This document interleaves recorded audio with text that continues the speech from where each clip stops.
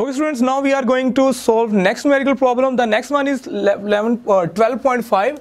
12.5 जो है वो हमने न्यूमेरिकल करना है two point charges Q1 is given minus 1.0 10 to power minus 6 coulomb and Q2 is given plus 4.0 10 to power minus 6 coulomb are separated by a distance of 3.0 meter. Find the find and justify the zero field location. बच्चों, अगर आप numerical problem को गौर से देखें तो आपको पता चलेगा कि हमने ये न्यूमेरिकल प्रॉब्लम पहले किया हुआ है, ठीक है? 100 परसेंट ये न्यूमेरिकल प्रॉब्लम है 100 परसेंट ना कहें 99 परसेंट कह लें, क्योंकि सिर्फ़ यहाँ पे जो चार्ज की वैल्यू है, वो डिफरेंट दी गई है, ठीक है? जबकि आपके जो न्यूमेरिकल अप्रोच है सोल्यूशन अप्रोच जो है, वो 100 परसेंट सेम है, ठीक है? हमें यहाँ पे Q1 दिया गया है, वो है minus one point zero ten to power minus six coulomb ठीक है?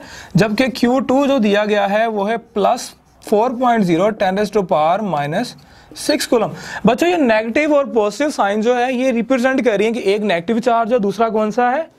Positive charge definitely okay so separated by a distance आप डिस्टेंस एक्स कह लें। या d कह लें whatever you want to like so इसको आप कह लेंगे थ्री मीटर दिया गया है हमें डिस्टेंस तो उसने कहा है ज़ीरो फ़ील्ड लोकेशन जो है वो फाइंड आउट करनी है.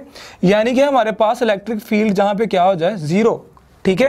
ये हमारे पास, ये रिक्वायर है. ये हमने फाइंड आउट करना है. उसी तरह आपने दो पॉइंट जो है सपोज़ कर लेने एक पॉइंट ए और दूसरा पॉइंट जो है, आपने बी सपोज़ कर लेना है.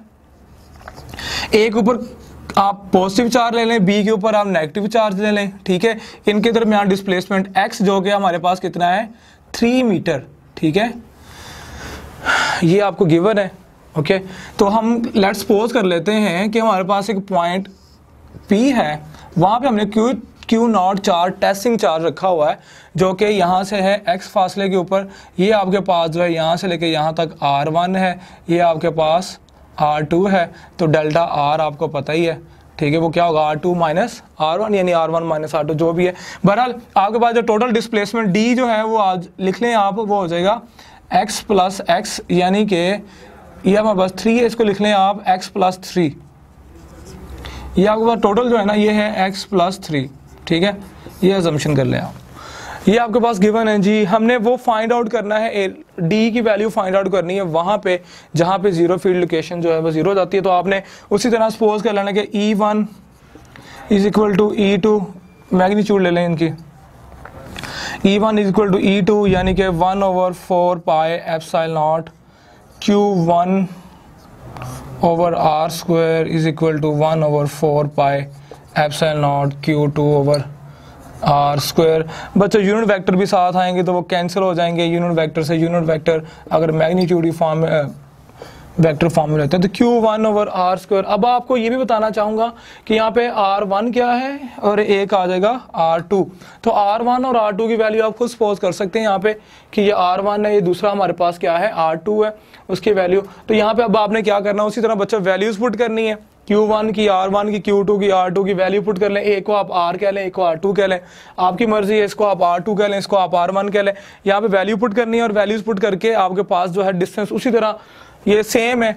वो हमारे पास जो है थ्री आंसर आ जाना उसका प्लस की वैल्यू आएगी एक हमारे पास माइनस का वन आ जाना है। ये हमारे पास निगलेक्ट हो जाना है डी की वैल्यू और ये हमारे पास करेक्ट हो जानी थ्री ये हमने पहले किया हुआ है हंड्रेड परसेंट तो इसी तरह थ्री मीटर जो है आपके पास इसका आंसर आ जाना है, ठीक है? नेक्स्ट मेरिकल प्रॉब्लम जो है, अब हम वो करते हैं।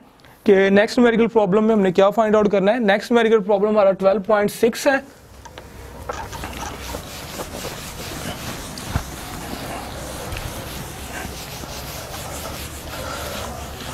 ट्वेल्व पॉइंट सिक्स में देख लेते हैं बच्चों के इसकी स्टेटमेंट क्या ट्वेल्व पॉइंट सिक्स में हमने क्या करना find the electric field strength required to hold suspend a particle of mass 1.0 10 to the minus 6 kg and charge 1.0 microcoulomb between two plates separated 10.0 centimetre apart ठीक है? ओके जी. तो हमने क्या करना है? इलेक्ट्रिक फ़ील्ड स्ट्रेंथ यानी कि ई e जो है हमने फाइंड आउट करनी है। Electric field strength electric field intensity whatever E find out करनी है बच्चों। और हमें क्या क्या गिवन है जी? गिवन है इसमें हमें एक जी, हमें मैच दिया गया है एम वो है G 1.0 point zero ten to power minus six K G ये हमें गिवन है, और दूसरी चीज़ जो हमें गिवन है, वो भी देख लेते हैं। हाँ जी, हमें दिया गया है चार्ज चार्ज जो है, वो दिया गया है वन पॉइंट ज़ीरो माइक्रोकूलम तो बच्चों इसको लिख लेंगे वन पॉइंट ज़ीरो माइक्रो को टेन की पावर माइनस सिक्स लिख सकते हैं ना हम? यस yes, लिख सकते हैं। सो so, ये हमारे पास आ गया 1.0 point zero ten to power minus six coulomb जो है ये हमारे पास चार्ज आ गया। फाइंड आउट करनी हमने ई e, और उसने कहा है कि जो तो चार्ज है उसे सस्पेंड किया हुआ है हमने। Electric strength require to hold a charge हमने जब अगर आपको पता हो कि जब दो प्लेट पैरल प्लेट कैपेसिटर के दरमियान चार्ज होल्ड होता है, तब होल्ड होता है। जब उस पर लगने वाली इलेक्ट्रिक फ़ील्ड जो है, उसके वेट के इक्वल हो जाए। यानी कि एफ़ ई जो है इक्वल हो जाए कब? किसके? एफ़ जी ग्रेविटेशनल फोर्स के। ये हमारे पास होती है क्यू इंटू ई और ये बच्चों, आपके पास होता है एम जी सो यहाँ से हम ई e निकालना चाह रहे हैं। इलेक्ट्रिक फ़ील्ड स्ट्रेंथ हो जाएगा M G divide by by Q divide by Q it means that G की वैल्यू हमारे पास क्या है? Gravitational acceleration nine point eight ten S to par O sorry 9.8 metre per second square this is the gravitational acceleration so guys इसमें put करते हैं values M one ten S to power minus six G 9.8 divide by one into ten S to power minus six Q की value ठीक है जी, ये cancel हो जाएगा. तो 9.8 न्यूटन पर कूलम, ठीक है? ये हमारे पास आ जाएगी इलेक्ट्रिक फ़ील्ड स्ट्रेंथ यहाँ बच्चों, आपको पता है, इसका एक और यूनिट होता है, इसको हम लिख सकते हैं ई e को। 9.8 volt per metre volt per metre so this is another unit of the electric field strength it's quite easy numerical problem आपने करना है शॉर्ट क्वेश्चन के अंदर ये आ सकता है।